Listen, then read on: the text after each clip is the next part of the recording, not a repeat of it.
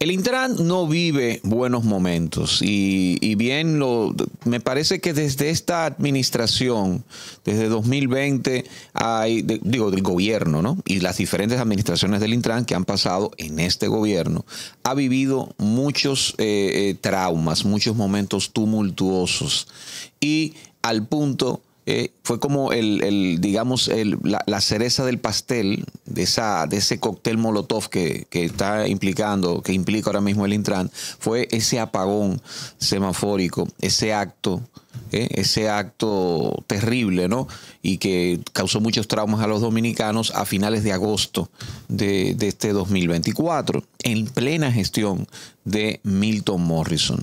Aquí contamos con la presencia de el licenciado en informática Henry Méndez, que era encargado de soporte técnico del Intrant y nos va a hablar eh, algo que nos interesa mucho y creo que debe interesarle también a toda nuestra a toda nuestra gente, nuestra audiencia, y es el tema del funcionamiento del Intran. Eh, y con él vamos a tener informaciones muy interesantes porque precisamente está desde, está desde la fundación del Intran. Y a partir de ahí, quiero comenzar, eh, Henry, ¿cómo estás? Buenos días, buenos días y gracias por la invitación y por, por la deferencia que ustedes brindan. Eh, sí, es correcto tu comentario.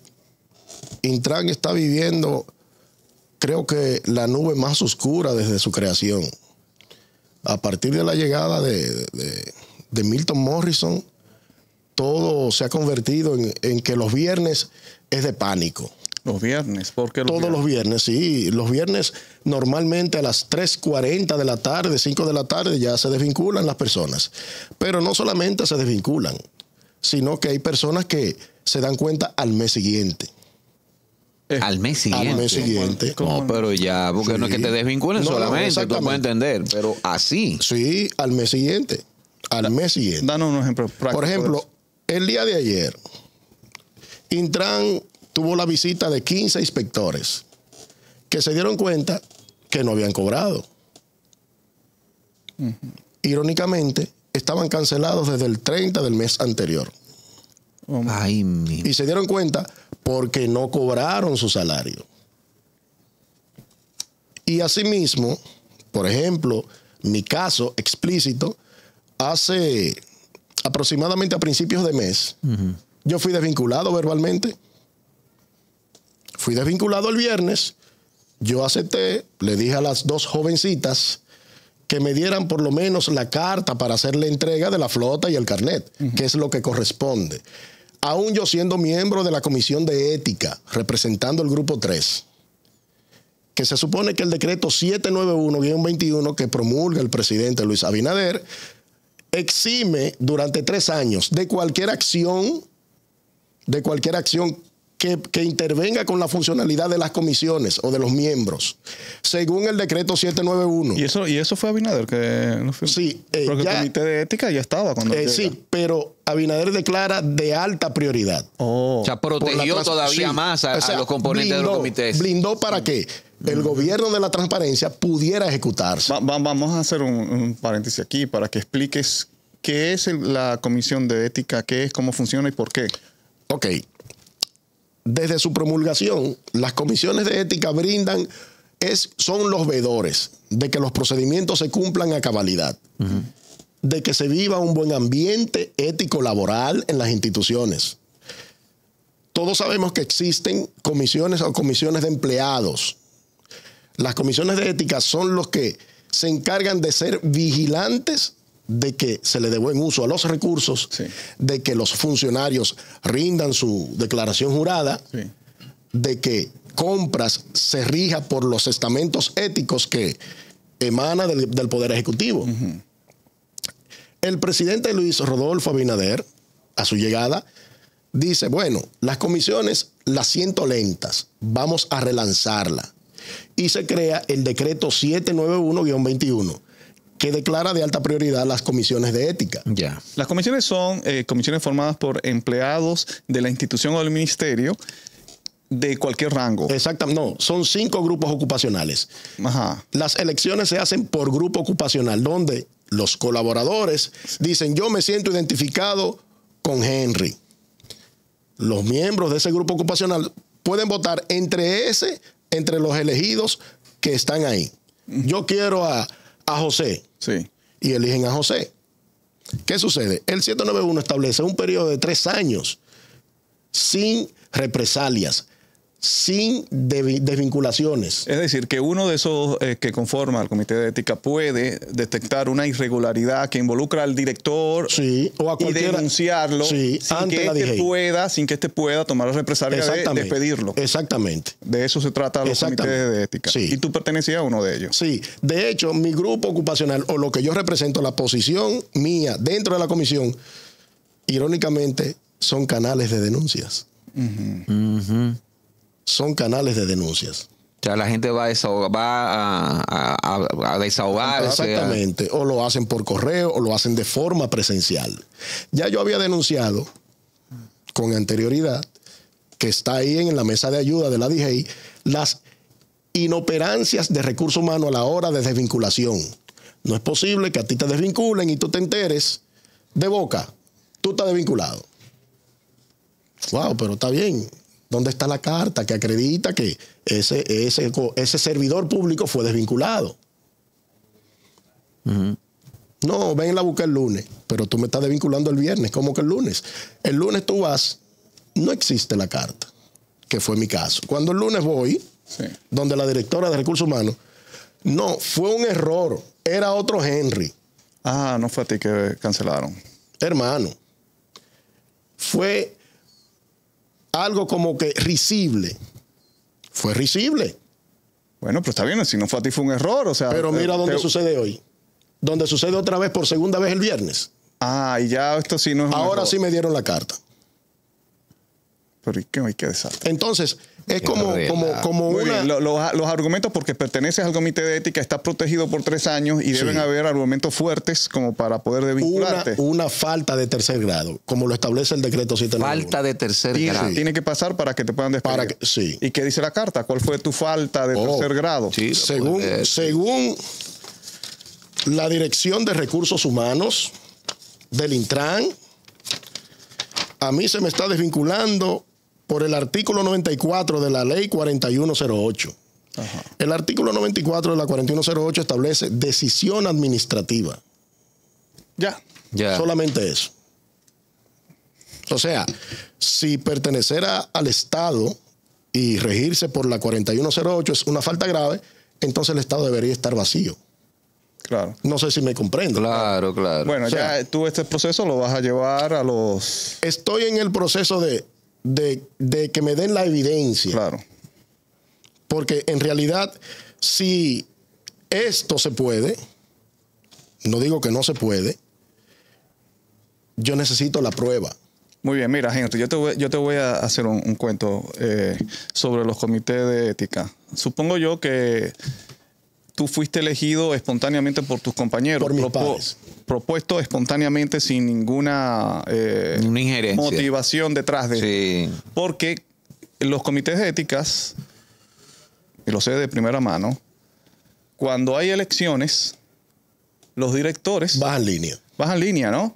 Y empiezan a llamar a toda esa gente que tienen botellas que ellos contratan y que no van a trabajar. Ese día lo llaman a todos y le dan su plancha. Tienes que votar por este, por este y por este. Imagínate tú. Muchas veces hay instituciones donde las botellas son más de los que van a trabajar. ¿ah? Y pues esa plancha gana y esa plancha responde al director. Y ahí el comité de ética se desvirtu- o sea, se neutraliza para lo, para Sí, lo que pierde su tiene- objetividad, pierde su esencia. Eh, claramente vemos aquí entonces eh, que aparentemente tú no eras una de esas líneas. No, tú no eres de esas líneas, no. tú Ahora, vamos, vamos a hablar, porque nosotros aquí en este programa hemos sido muy insistentes con el tema del Intran, porque hemos visto que mucho de la prensa tradicional ha empezado a ver a otro lado. Hemos visto cómo esta campaña ahora, de la noche a la mañana, eh, se sacan un plan debajo de la manga, el plan este con un nombre larguísimo De la seguridad vial. la seguridad vial y todo lo que están proponiendo. Esto, cuéntanos un poco de, de- de- de este plan, si es viable, si, si esto ya era algunas cosas que estaban ahí engavetadas. Cuéntanos de esto. Bueno, Intran siempre ha sido diligente en el procedimiento de la seguridad vial. Recordemos que hace un buen tiempo, en el 2016, salió una resolución declarando de alta prioridad o de, o de prioridad la seguridad vial De 2016. del 2016. Un déjà vu ahora. Entonces, hoy en día relanzamos un plan que ya existía. Mm, Explíquenme eso. Yo quiero entenderlo. sí. Pero ok, vamos a buscar las causas. Si la seguridad vial fue declarada esencial para el país en el 2016, ¿por qué ocho años después tenemos que relanzarla? Simple. ¿No será que el ingeniero Morrison al no saber o al no orientarse o al no tener un equipo capacitado tiene que recurrir a estrategias que ya están hechas? ¿Ustedes no han pensado en eso? Claro. Sencillo. Si la seguridad vial es una alta prioridad, ¿por dónde debemos de comenzar? ¿Se han preguntado eso? ¿Por dónde tú entiendes que comenzó? ¿Cómo tú amueblas una casa sin techo? ¿Cómo tú amueblas una casa sin techo? Vamos. ¿Cómo vamos. tú dices, tengo un Porsche? Y cuando tú vas a ver el Porsche, el Porsche no tiene gomas, no tiene motor, solamente es una puerta lo que tú tienes. Ahora bien, trayéndolo al contexto actua- actual, hay muchas problemáticas que hay que resolver para que se dé ese proyecto de alta prioridad de la seguridad vial. Nosotros no hemos salido del tema semáforos todavía. No, Pero ustedes han visto fotos del centro de control operando. no. No, ¿cómo el centro de control, ¿cómo está ahora mismo? Disfuncional. Eso está disfuncional. Eso está apagado. ¿Qué, Tiene qué- los televisores encendidos. hay personas ahí viendo televisión. Tiene los televisores encendidos. Y hay gente ahí. Puede, puede que sí. Puede que sí. Puede que sí. Porque una parte del personal que está dedicado a trabajar está allá en la sede. Entonces, tú tienes los televisores encendidos. Si tú me hablas de la seguridad vial, muéstrame el plan que tú tienes en pantalla. Como estaba antes, que tú veías los corredores, los vehículos, las onzas, con, la- con los tiempos en las paradas. No me digas, "Da- vamos a declarar, eso es un papel, eso es un papel. Ah, no, vamos a inaugurar 13 corredores. Señores, lo que implica inaugurar un corredor son muchos los estudios, Claro. es mucha la inversión, es mucha la infraestructura. Entonces, Para que no, es que imagínate, ellos lanzan este plan y solamente hablan de las cosas que vamos a hacer. Las Sí. cosas que vamos a hacer. Que vamos a hacer. Nunca el cómo, Sí, nunca el no, plan. no, No, no, no tocan el, el- el asunto de la red semafórica, porque si lo tocan, entonces deberían mostrar por lo menos que está funcionando. pero una porque cosa, no, no pueden admitir que no está funcionando. sí, pero una cosa te lleva a la otra. Tú no puedes levantarte con la ropa puesta. Tú no puedes acostarte con un traje y- y encorbatado. Tú cumples un procedimiento, tú te acuestas con tu pijama, te levantas, te bañas, te cepillas, te cambias. Ahora bien, todo tiene un orden de procedimiento. Si yo quiero asegurar la seguridad vial, primero tengo que ver con qué cuento, cuáles son las falencias o las deficiencias que tengo a nivel estructural. No es yo comprar un autobús y ponerlo a rodar.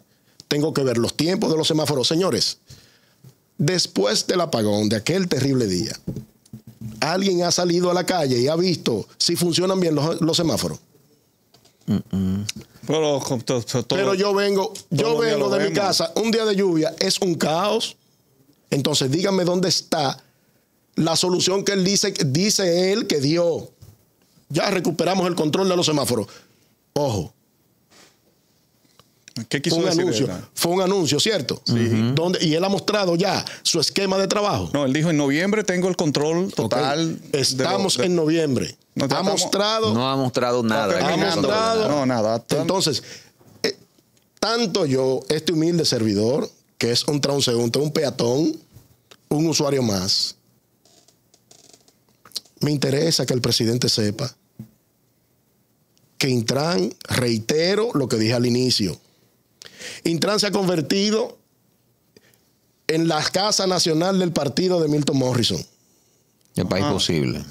Yo no conozco ese partido. Una, una, institución que no es para, que no es para No, eso. no, no, porque no. Se necesita mucho, mucho personal técnico. Se supone. Sobre todo. Se supone que tú tienes personal ahí bien capacitado. Tú no tienes personas adivinando al azar qué vamos a hacer. Hoy queremos hacer esto. Claro, y Señores, mira- yo estuve en una capacitación del PEI que terminó este martes. ¿Qué es el PEI? El PEI es el Plan Estratégico Institucional. Ya.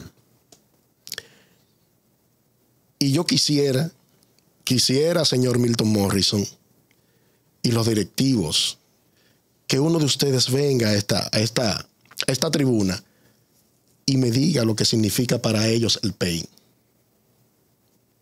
Porque como su nombre lo dice, Plan Estratégico Institucional. Se supone que para usted crear un plan, usted necesita contar con el personal adecuado y capacitado. Yo invito a cualquiera, a cualquier persona, que se tome el atrevimiento de evaluar el personal que está ahora.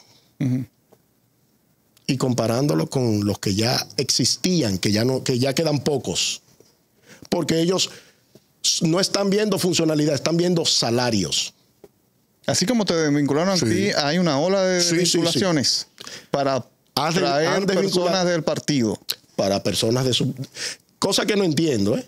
Porque todo el mundo sabe en este país que Sí. las gestiones traen a su gente. Eso no es, eso no es criticable. Ahora, tú volver a una institución disfuncional para atraer personal que no está capacitado. No, no, eso, eso no. Mira, y también eh, el asunto inmoral que hay en, en esto, cuando Milton Morrison, el presidente de la República, se paran allí y dicen, culpan prácticamente como a una a- al dominicano que no tiene educación vial y que eso pues es la raíz de todos los problemas cuando y, y le hacen ese reclamo y todo va apuntado ahí eh, vamos a poner puntos por, por la licencia Licencia por punto. eh, el, el asunto de las multas todo de eso las fotomultas. si todo eso es como diciéndole, ustedes son los culpables de, de los accidentes, de todo lo. Pero cuando ellos mismos no tienen una red semafórica funcional, ni siquiera una red semafórica que fue hace unos, un tiempo muy poco atrás inteligente y que ya no es inteligente, que no tienen un centro de control, que, y quiero que me corrobores si esta información es cierta, tú como trabajaste allí dentro, de que están apagando luces de una zona para poder encender otra. Y que incluso están, eh, haciendo puente entre una luz y otra. Puenteando, sí. Y donde una programación Puenteando. que está puesta en los semáforos, una programación que las luces tienen un, un X tiempo determinado para hacer un cambio, es una, program- una programación desfasada de meses atrás. Todo esto es verdad. Gran parte de eso, lamentablemente, Cuéntanos, por favor. Fíjate, en el 2018, todo lo que se está lanzando hoy ya estaba. En la gestión de Claudia Francesca se empezó la- el plan piloto de las fotomultas. Se empezó el plan piloto con el director Leandro. Leandro, no recuerdo el, no- el apellido, pero es Le- Leandro. Se empezó el plan de las fotomultas. Pero en el 19 se automatizó totalmente el centro de control. Estaba funcional. Todo eso estaba funcional. Seguridad vial, seguridad interurbana, todo eso estaba hecho. Viene el cambio de gestión. Con el señor Rafael Arias, que le dio mucha continuidad a lo que encontró, Sí. le dio mucha continuidad a lo que encontró, quiso cambiar algunas cosas para hacerlas mucho más dinámicas.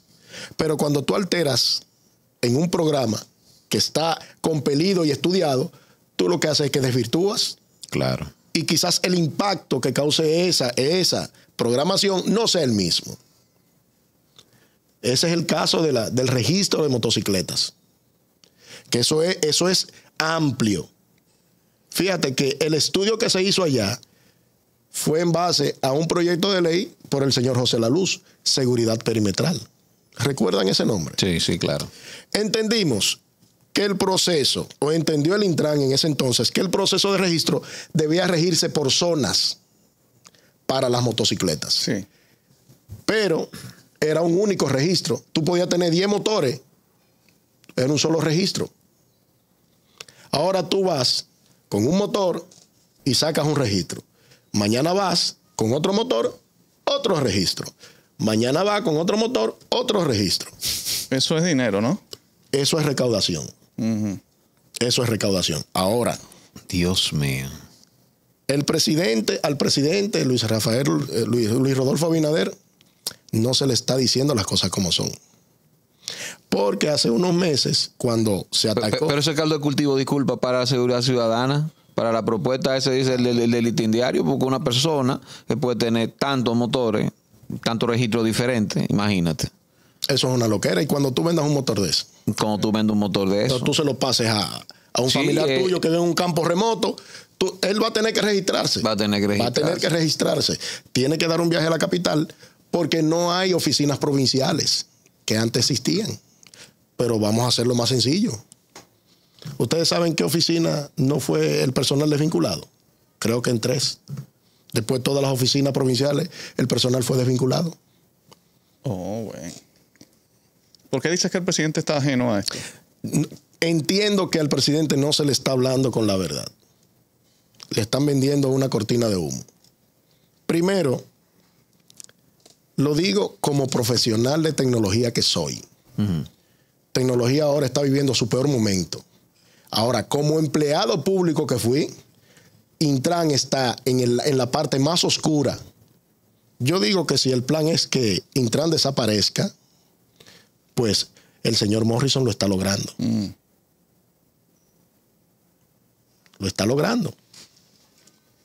¿Cómo? Tú dices que Aria, que fue, Aria fue el primero, ¿no? No, Claudia Francesca No, no, perdón, en la administración de Abinader. De Abinader, Sí, sí, Rafael ah, Aria fue el Arias. primero. Aria, un hombre que representa los intereses del transporte público, privado. Va. Sí, eh, es Y, y tú dices que más o menos él trató de hacer algo. sí, él dentro de su posición y sus intereses Sí. fue mucho más comedido. Fue Pero mucho él más fue el que puso el asunto de los registros. De los registros de cada- motocicleta. Bueno, De los afectando a ese sector de motocicletas, ¿no? Exacto, no, no afectándolo, Obviamente. impactándolo. Bien. Impactándolo. Ahí ¿Por qué? Porque si yo te muestro una propuesta y te digo, podemos dividirla en cuatro. Tú sabes que son de un solo paso, tú vas a hacer cuatro. Pero eso se puede volver a, a- a tomar con, el, con, la, con la razón de Sí, ser. Henry, pero lo que, lo que quiero para que la gente entienda esto, que nosotros criticamos mucho ese, ese nombramiento porque como nombras a un- una persona con intereses en el transporte público en una institución como esta, y lo primero que hace es impactar a los dueños de motocicletas cuando sabemos que... eh, Lo ven como competencia. Exacto. El sector transporte público, atención Antonio Marte, tiene su, su, Su misión, su misión en contra de los de los que de los Claro. motores, vamos, de los Sí, motoristas. sí, sí, sí. Pero bien, eso es para que vean cómo es que se maneja el, el- el asunto aquí de la política. Ahora, luego de eso, Hugo Veras, vino Hugo Vera. Hugo Sí. Vera que trató de hacer algo a nivel técnico, como la intención era buena, que No, eh, cuéntanos. El licenciado Veras se, se, se sumergió, digo yo, en, en el plan ambicioso de, de automatización semafórica. Pero eso era, eso parece ser una buena intención, ¿no? Hasta el punto, desde el punto de vista de nosotros, sí. Ajá. Habría que ver desde el punto de vista de ellos. Recordemos que pro- producto de eso hay una situación. Significa que no se dio tan bien. No, claro. Ahora, trae un especialista en el tema y te va a decir dónde hubo el fallo. Porque tú puedes pertenecer o puedes tener intereses. Ahora, de ti depende cómo tú ejecutes esa obra. Yo te hablo de que de este gobierno, para mí, para mí, el que intentó seguir los procedimientos fue Rafael Arias, independientemente de lo que digan. De sus intereses. Porque, vuelvo y te repito, ¿cuántas motocicletas teníamos registradas en el proceso de Arias? Vamos a hacer un cálculo. Vamos, vamos a hacer comedido. 100 mil motocicletas. Fueron más. Vamos a ponerte 100 mil. Y ahora, en estas dos gestiones, en estas tres gestiones, ¿cuántas motocicletas se han registrado? ¿Cuántas se registraron? No sé, eso se, detuvo. No se. Eso se Ah. detuvo. Eso se detuvo. Y por una bulla de los mismos motociclistas, se volvió a lanzar el plan. Pero eso estuvo detenido. Ahora bien, ¿quién hizo más? En términos proporcionales. ¿Quién aplicó el plan a medias o quién no lo hizo? No, el que lo aplicó a. Sí, lo lo- Porque lo- ya yo tengo un registro. Poco que mucho, dividido, pero lo tengo. Hay paradas establecidas, identificadas. Ahora, díganme, ¿cuántas veces ustedes han escuchado se hizo el plan nacional por, por regiones o por sectores del sector motocicletas? Solamente cuando Rafael Arias. Ustedes tenían móvil en los cachorros, tenían una móvil de registro de motocicletas en, los- en los jardines, tenían en la feria ganadera, tenían en el, en el zoológico. ¿Cuántas veces tú has visto una móvil más? No. ¿Tú has visto? Desde que Una salió él, no. Pero quizás es un error. ¿Tú has visto una móvil? No, no. Ya. Nosotros tenemos, Ahora, digo eh, nosotros a lo que, a lo que pertenecí. Intran tenía gente muy capacitada, dando lo mejor de sí. En la actualidad, lo que quedan viven con la zozobra de que, wow, el viernes, sí, el viernes. wow, viernes parado. Tú sabes, los especiales de las discotecas, viernes parados. Y tú ves un especialista de los de ellos y tú dices, fíjense en algo, esta es la carta de vinculación y tiene falta ortográfica. Revísenla. Revísala. Dios Ahora, mío. ahora ahí. Revísala. Ahora, una y cosa. tiene falta ortográfica. Cuando Morrison llega al Intram, él llega y luego de casi un mes, ¿no? O más de un mes, eh, que se da el apagón, es que él dice que, que esa compañía, esa, ese- ese- esa compañía que estaba dando el servicio, Transcor Latam, pues estaba impedida de hacerlo legalmente. Pero cuando él llega y en ese mes, él no pudo darse cuenta de eso. De quién es que me está dando el servicio de la red semafórica. Pero se supone que anterior a él, alguien le entregó. Exacto. y el que te entrega o te entrega completo o quiere hacerte un daño. Ahora, el daño pasa cuando tú desconoces o confías. Reitero, el daño ocurre cuando tú desconoces o confías. O confía, sí. Teníamos a, un interino, Eh, Soto, no, ¿no? Randolfo, Rijo, Rijo, Rijo, Rijo Gómez. Rijo, sí. Rijo le entregó. Se supone que él debió de contar con una comisión de transición que le, que le alertara, mire, tenemos este contrato, ¿qué vamos a hacer? Argentina. No suceder eso que sucedió y después tú decir en una entrevista que para mí fue un guion, estamos trabajando. sí. O sea, Henry, tú como soporte técnico, ¿qué fue lo que pasó el día del apagón?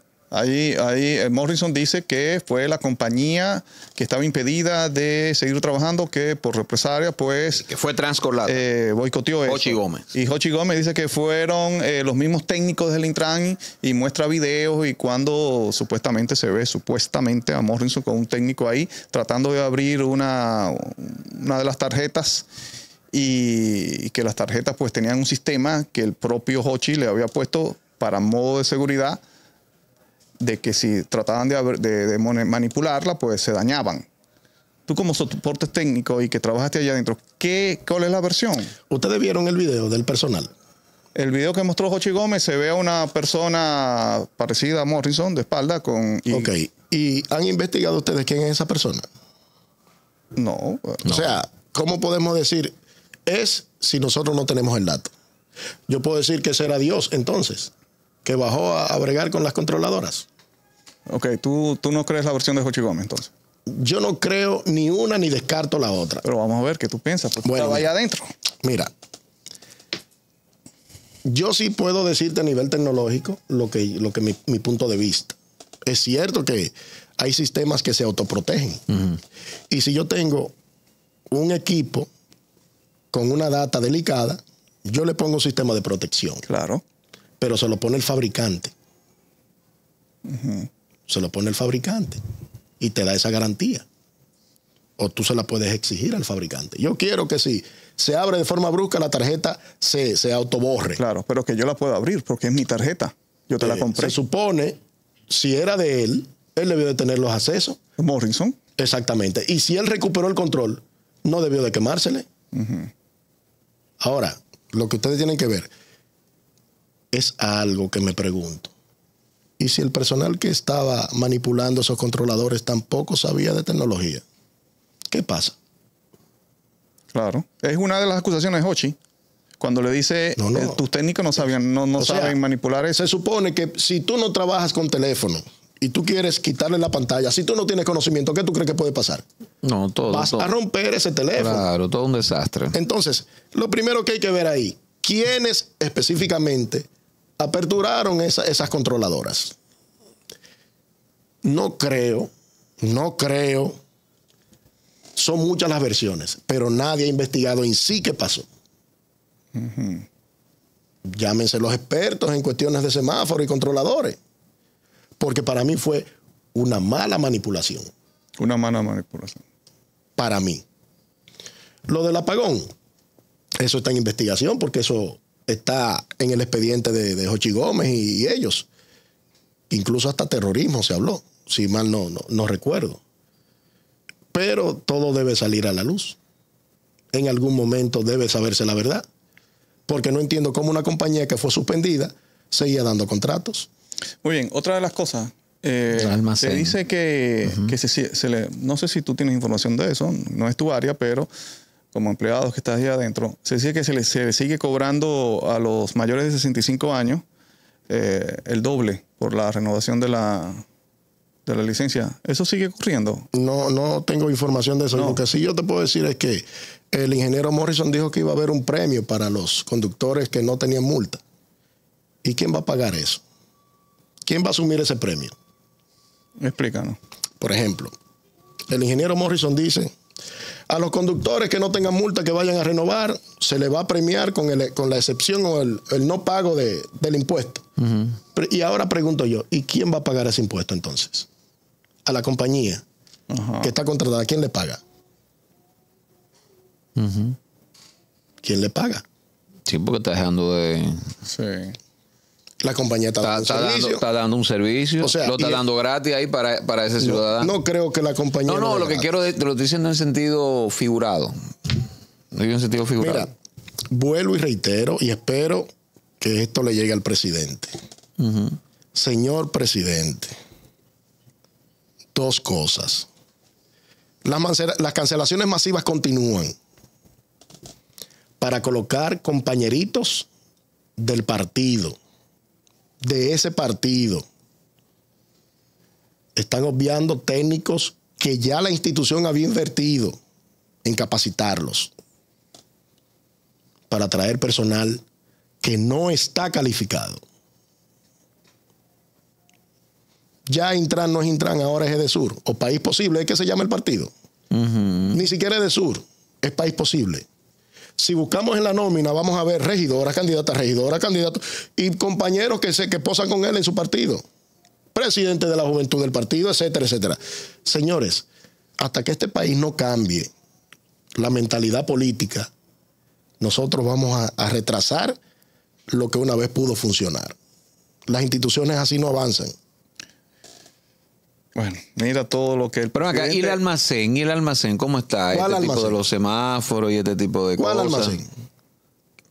Tiene un almacén. Bueno, si un parqueo o el hangar de un parqueo es un almacén, entonces están ahí, tapados con una lona.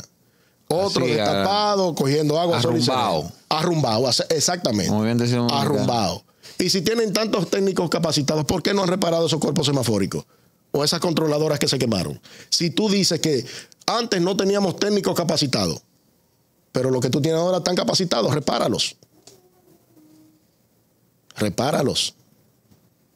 Ahora, no sé qué es lo que tiene el presidente Luis Abinader que le debe tanto a, A a Morrison. Morrison, porque mira cómo eh, deja no solamente que pase todo esto, sino que en su semanal lo invita y le da este apoyo y le crea esta cortina de humo de la, del De la plan seguridad este, sí, para que desviar la atención del verdadero problema, eh, todo este apoyo. Y tenemos al pobre, el- al que lo apoyó, que lo puso a jurar, que el, que va, que lo iba A Zorrillo Osuna. A Zorrillo Osuna lo tiene ahí. Es discriminatorio, ¿ah? ¿Por qué? Claro, Son yo no sé. compromisos políticos. Yo no sé cuál es. Pero no Pero yo no, sé cuál es yo no entiendo qué compromiso tiene él con Morrison y un partido de niños, pues son niños, 22 y 24 años, encargados departamentales, directores departamentales. Ahora yo quiero, le voy a hacer una pregunta. Para ustedes, ¿qué pesa más, la experiencia o la sagacidad? Bueno, la experiencia. Experiencia. Para mí la experiencia. Ahora En este tipo, en va- este tipo ahora- de casos, este y sobre todo en instituciones como esa, la experiencia va, es lo importante. Ahora va la otra pregunta. ¿Ustedes creen que si yo tengo un técnico ahí, por ejemplo, el caso de, del señor Salomón, que era encargado del departamento de litigios, por ponerte algo, eh, no discriminando a nadie, porque usted puede ser, con 22 años, usted puede ser quien le da clase a, a los que fabrican cohetes en la luna. Claro. ¿Ustedes creen que una persona con 20 años litigando, una de 22 le puede ca- caer atrás? No, imposible. Y más Bueno. tema de litigio. Puede ser un genio. Sí, Puede sí, ser no, un no, genio. no. Pudiera ser. No, no, puede darse el caso de que el, el jovencito Una- tenga un PhD Sí, sí, es una y de excepcionalidad. maestría, Pero no es el caso. pero en el campo son dos cosas distintas. Claro. Usted en teoría puede ser un comegente, pero en el campo no creo que usted maneje situaciones. Bueno, ha estado con nosotros Henry Méndez contándonos la situación, contándonos la situación que se vive en el Intran. Cuando resuelva tu, tu, tu asunto, tu mundo, creo que pode- podemos repetirnos y decir otros detalles interesantes. Claro, me gustaría también que invitar a Carlos Zavala también para que corrobore algunas de las cosas. Se corrobore, sí. Bueno, recordemos, señores, que esta es la quinta pata. José Maracayo, Edwin Cruz. Recuerda suscribirte, activar campanita, darle a me gusta para seguir creciendo y compartir. Recuerda que estamos en el canal 503 de Win TVO para el Gran Santo Domingo, Siembra TV, de 1 a 2 de la tarde, de 8 a 9 de la noche la retransmisión y también nos ven en las principales eh, cableras del Cibao Central.